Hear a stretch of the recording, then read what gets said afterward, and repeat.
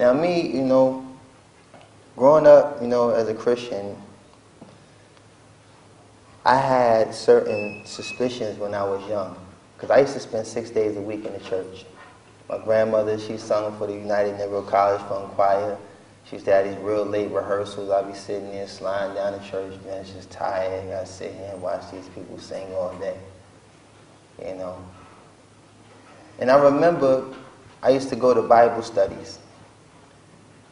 And I remember just repetitively keep hearing about Jesus praying. So I remember asking my pastor, I say, you know, um, Pastor, I need to ask you a question. He's like, yeah, what's the problem, son? I said, well, you know, um, if, if, if Jesus is God and he's praying, who he's praying to? And he just shut me down.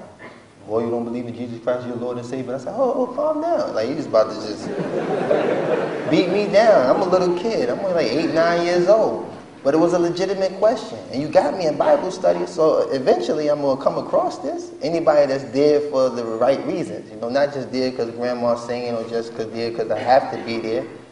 I was learning things myself. And I started to see certain things that just didn't make sense. And he just kind of shut me down. And from that point, well, I never went to church again. I said to myself, I'm just going to believe in God because whoever Jesus is praying to, that's the man. That's the man. Because I tried to pray to Jesus, and I can't say the response time was always on time. But I know when I used to scream, oh my God, you know, it seemed like something was working.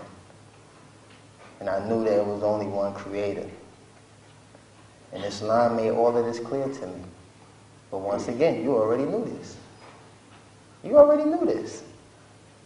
I remember when I was 10 years old, if I'd have had a nightmare, I'd have ran around the house in my underwear, screaming, top of my lungs, wake everybody up. You 10 years old, what you do? I would be like, man, shit You knew how to protect yourself. A nightmare was a nightmare for everybody in my house. Y'all all gonna feel this. You know? But you knew how to protect yourself. You didn't have to wake the house up. You just ask Allah to you seek refuge in Allah from the accursed shaitan. A'udhu billahi minash shaitan.